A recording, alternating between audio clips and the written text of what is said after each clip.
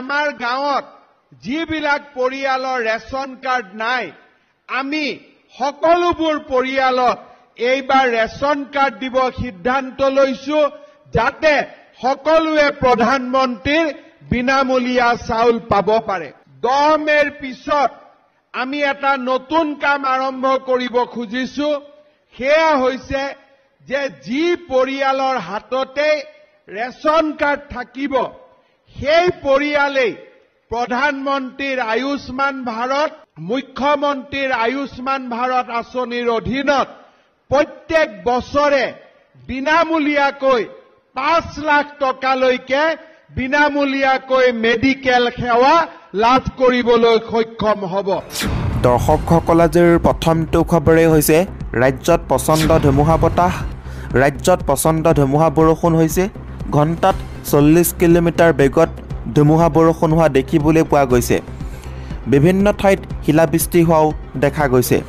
কোন কোন জিলাত ধুমুহা বৰষুণ আহিব কেন্দ্ৰীয় বতৰ বিজ্ঞানে সতৰ্কবাণী জাৰি কৰিছে। কোন কোন জিলাত বৰষুণ হ'ব এই মুহূৰ্তত আপোনালোকক জনাম। এটা গুৰুত্বপূৰ্ণ খবৰ কামৰূপ মহানগৰ গোৱালপাৰা গুৱাহাটী মঙলদৈত ধুমুহা বৰষুণ হ'ব। ৰাজ্যত প্ৰচণ্ড ধুমুহা বৰষুণ এইকেইখন জিলাত হ'ব। কামৰূপ মহানগৰ গোৱালপাৰা গুৱাহাটী মঙলদৈত ধুমুহা বৰষুণ হ'ব। ঘণ্টাত চল্লিছ কিলোমিটাৰ বেগত ধুমুহা আহিব বুলি কেন্দ্ৰীয় বতৰ বিজ্ঞান কেন্দ্ৰই সতৰ্কবাণী জাৰি কৰিছে। এইকেইখন জিলাত বিভিন্ন ঠাইত শিলাবৃষ্টিও হৈছে বৰ্তমান সময়ত। কোন কোন জিলাত ধুমুহা বৰষুণ হ'ব পুনৰবাৰ জনাইছোঁ। কামৰূপ মহানগৰ গোৱালপাৰা গুৱাহাটী মঙলদৈত ধুমুহা বৰষুণ হ'ব। দুই নম্বৰৰ খবৰটি হৈছে দেশত পুনৰ বৃদ্ধি পাইছে ক'ভিডৰ সংক্ৰমণ। বিগত চৌব্বিছ ঘণ্টাত দেশত এহেজাৰ আঠশ নব্বৈগৰাকী ক'ভিডত আক্ৰান্ত হৈছে। বিগত কিছুদিনৰ পৰা পুনৰ বৃদ্ধি পাইছে ক'ভিডৰ গ্ৰাফ যাক লৈ চিন্তিত হৈছে কেন্দ্ৰীয় স্বাস্থ্য মন্ত্ৰণালয়। শেহতীয়াভাৱে কেন্দ্ৰীয় স্বাস্থ্য আৰু পৰিয়াল কল্যাণ মন্ত্ৰণালয়ে প্ৰকাশ কৰা বিবৃতিত এই কথা প্ৰকাশ এই তথ্য। আনহাতে স্বাস্থ্য মন্ত্ৰণালয়ে দেওবাৰে জাৰি কৰা এক প্ৰেছ বিজ্ঞপ্তিত কোৱা হৈছে যে দেশত বিগত চৌব্বিছ ঘণ্টাত ক'ভিড নাইণ্টিনৰ এহেজাৰ আঠশ নব্বৈটা নতুন ঘটনা নথিভুক্ত হৈছে। স্বাস্থ্য মন্ত্ৰণালয়ে প্ৰকাশ কৰা মতে ভাৰতত বৰ্তমান সক্ৰিয় কৰোণা ৰোগী হৈছে ন হাজাৰ চাৰিশ তেত্ৰিছগৰাকী।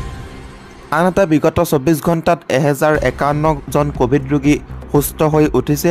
ইয়াকে লৈ দেশত কৰোণাৰ পৰা মুঠ চাৰি লাখ একচল্লিছ হাজাৰ চাৰি ক্ষমা কৰিব চাৰি কোটি একচল্লিছ লাখ তেষষ্ঠি হাজাৰ আঠশ তিয়াশীগৰাকী লোক সুস্থ হৈছে। তিনি নম্বৰ খবৰটি হৈছে একত্ৰিছ মাৰ্চ শেষ সময়সীমা। একত্ৰিছ মাৰ্চৰ পূৰ্বে আপোনালোকে এইকেইটা কাম কৰিব লাগিব নহ'লে আপুনি বিপদত পৰিব। এটা ডাঙৰ খবৰ এই মুহূৰ্তত আহি পৰিছে। যান বাহনৰ গৰাকীলৈ জৰুৰী খবৰ। একত্ৰিছ মাৰ্চ হৈছে শেষ সময়সীমা। কেইবাটাও কাম সম্পন্ন কৰিব লাগিব যান বাহনৰ গৰাকীয়ে।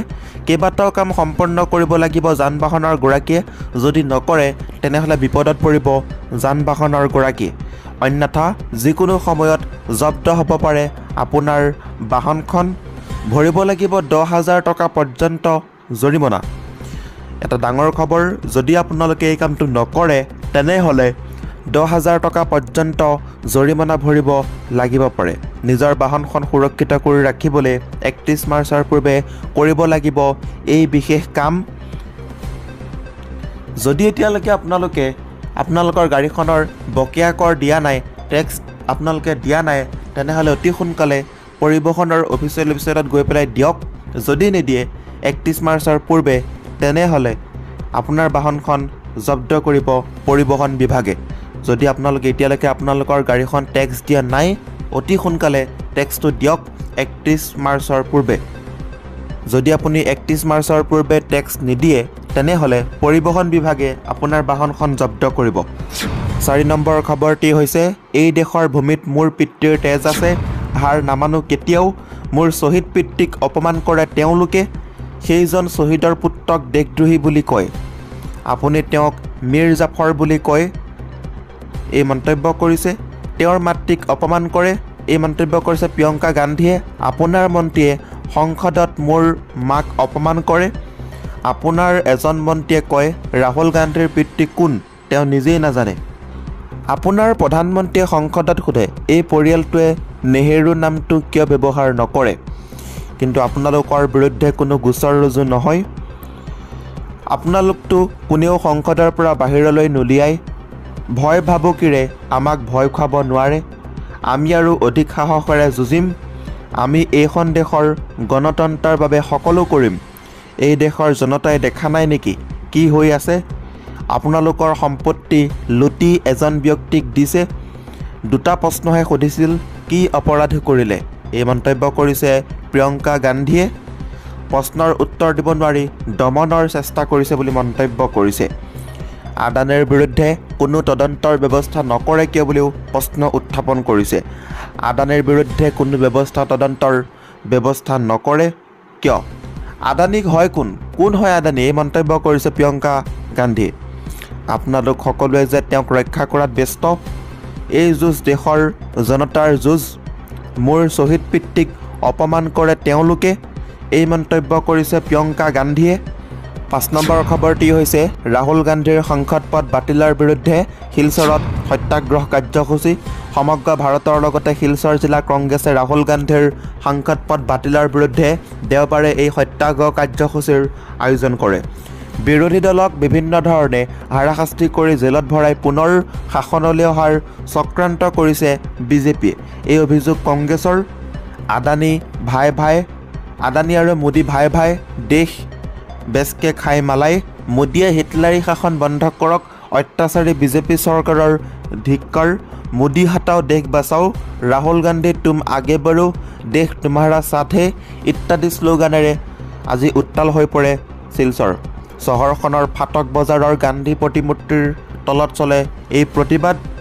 সমগ্ৰ ভাৰতৰ লগতে শিলচৰ জিলাৰ কংগ্ৰেছে ৰাহুল গান্ধীৰ সাংসদ পদ বাতিলৰ বিৰুদ্ধে যোৱা দেওবাৰে এই সত্যাগ্ৰহ কাৰ্যসূচীৰ আয়োজন কৰে। জিলা কংগ্ৰেছৰ সভাপতি তামল কান্তি বণিকে ভাষণত কৈছে বিজেপিয়ে প্ৰতিশ্ৰুতি পূৰণ কৰাত সকলো দিশতে ব্যৰ্থ হৈছে। আগন্তুক বিধানসভা আৰু লোকসভা নিৰ্বাচনত বিজেপিয়ে জনসমৰ্থন নাপাব বুলি বিৰোধীৰ ওপৰত প্ৰতিহিংসামূলক ৰাজনীতিৰ আশ্ৰয় লৈছে। বিৰোধী দলক বিভিন্ন ধৰণে হাৰাশাস্তি কৰি জেলত ভৰাই পুনৰ শাসনলৈ অহাৰ চক্ৰান্ত কৰিছে বিজেপিয়ে। শেহতীয়াকৈ আদানী কেলেংকাৰী কৃষকৰ সমস্যা আৰ্থিক সংকট নিবনুৱা সমস্যা মূল্যবৃদ্ধি আদিক লৈ যিদৰে ৰাহুল গান্ধীয়ে ভাৰতজোৰা যাত্ৰাৰ দ্বাৰা জনসাধাৰণৰ সমৰ্থন লাভ কৰিছে সিয়ে বিজেপিক শংকিত কৰি তুলিছে। সংসদত ৰাহুলৰ প্ৰশ্নৰ উত্তৰ দিবলৈ অসমৰ্থ চৰকাৰ? অৱশেষত আন কোনো পথ বিচাৰি নাপাই মানহানিৰ গোচৰৰ ভিত্তিত তেওঁৰ সাংসদ পদ বাতিল কৰিলে। যিটো সম্পূৰ্ণ প্ৰতিহিংসামূলক আৰু গণতন্ত্ৰ বিৰোধী বহু বিজেপি নেতাই ৰাহুলৰ পিতৃ মাতৃক লৈ ঠাট্টা মস্কৰা কৰিছে যদিও ৰাহুল বা কংগ্ৰেছ কোনোৱেই কেতিয়াও এনে বিতৰ্কলৈ যোৱা নাই। ভাৰতীয় পৰম্পৰাগত সংস্কৃতিত প্ৰতিহিংসামূলক চিন্তাৰ কোনো স্থান নাই।